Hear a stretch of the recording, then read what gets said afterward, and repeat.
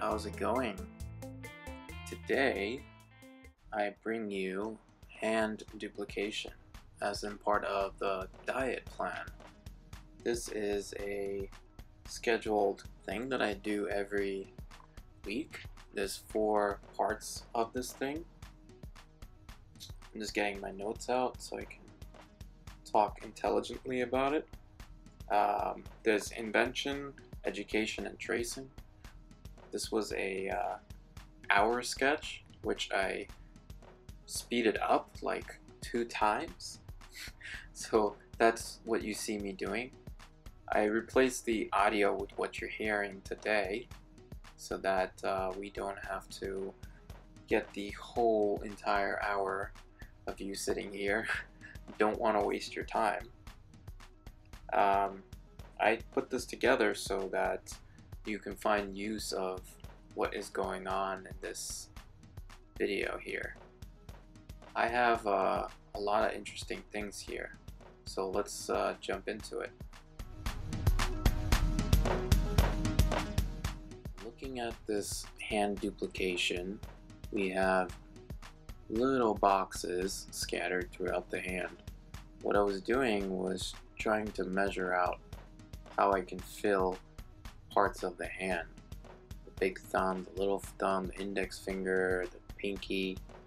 So I would take uh, these boxes and, and try to arrange them around on the image.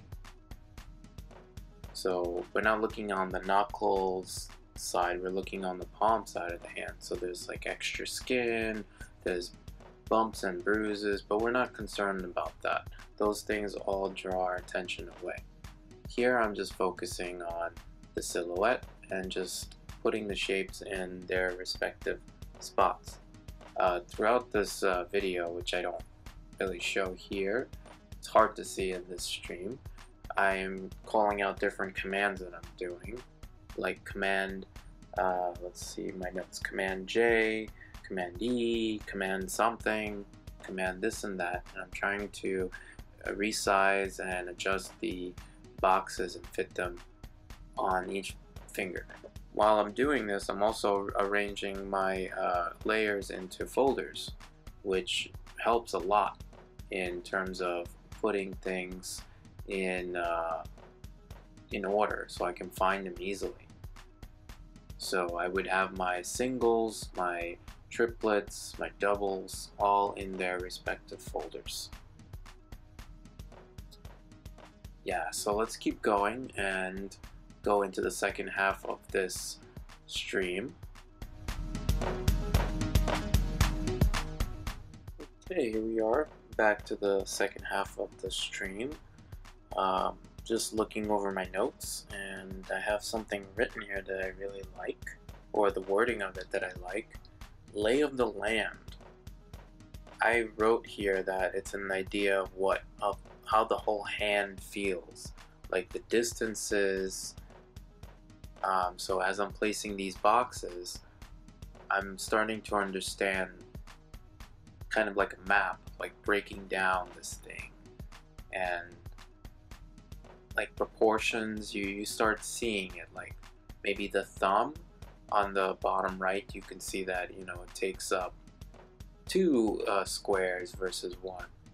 So, okay, now we're switching to another screen so you don't see the thumb anymore. But I think I'm looking for more references to get more ideas. So looks like I'm going to move into using a skeleton now. Uh, but going back to what I was saying, you want to go through all of this stuff and try to duplicate this uh, on another day and that would be your invention day just sit there for an hour and try to recall some of these distances and try to build up that library of, what you've learned so uh, let's break real quick and move into the second half of this piece Hey, uh, finally the third half. Here we are focusing on a skeleton hand. I'm using circles here instead of uh, boxes or singles from the other hand that I was working on. Circles are also another tool that you can use here.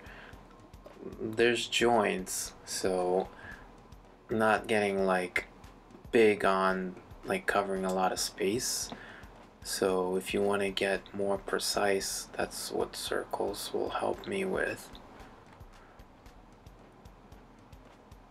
So I'm doing the same technique as before, just laying out the singles, the doubles, and the quads, and positioning them near the joints. Nothing particularly special to say about this, but it just makes it easier to arrange them and move them around.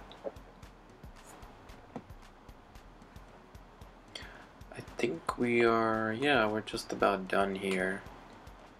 Uh, if you stayed this long, uh, thank you for staying this long. If you have any feedback or comments about this style, let me know. Looking forward to you and seeing you again.